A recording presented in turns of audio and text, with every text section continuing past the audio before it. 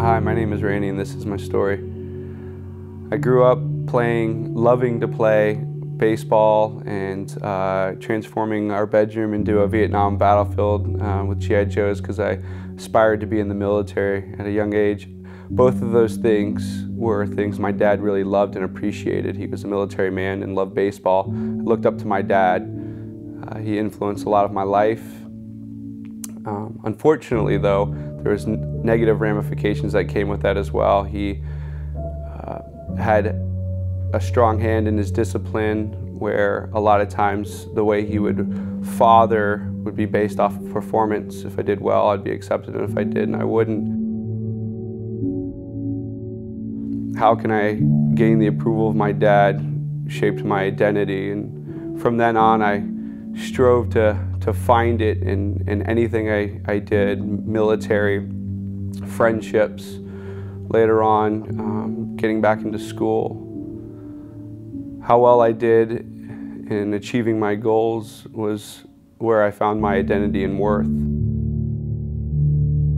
It wasn't until I came a part of Soma Communities, um, God blessed me, brought me into a, a, a household that you know pretty much invited me and allowed them allowed me to kind of experience what it was like to be a part of their family. They were the the, Vanderstelts, um, Jeff and Janie Vanderstelt, um, and I would get to see how Jeff interacted with his wife and how he interacted with his kids, and it, it was a huge blessing for me in, in, in helping kind of reshape what family really looks like.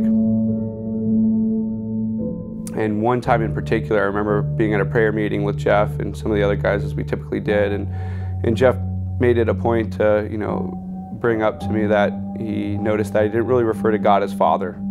I referred to him as Lord or God, but not, but not, but not as Father. And I remember being challenged by that, and I wrestled with it. Shortly after he left the meeting, I went into my room and wrestled with that truth, and God immediately impressed in my heart, one, that Jeff was a man who loved me and cared for me, and so I could trust his words.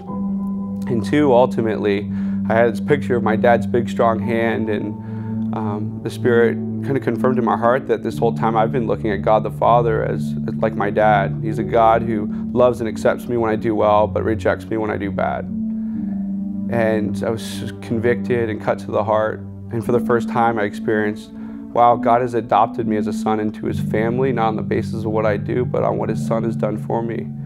And for the first time, it hit me like, wow, I have a father who loves me. I, I don't have to gain it. And that's been huge for me ever since. It's had amazing implications in, in seeing uh, and loving others um, as brothers and sisters and loving and pursuing my wife, not to gain love, but because I am loved.